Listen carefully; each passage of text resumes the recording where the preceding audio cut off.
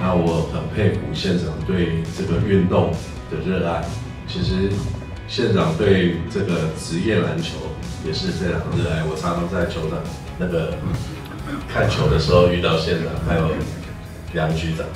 那我觉得这个县给我最大的这个感受就是县长非常支持运动。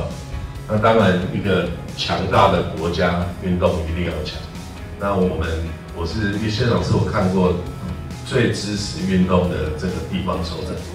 对，所以我觉得新竹县在这一次的这个国家的这这一些运动会上的表现，大家都是有目共睹。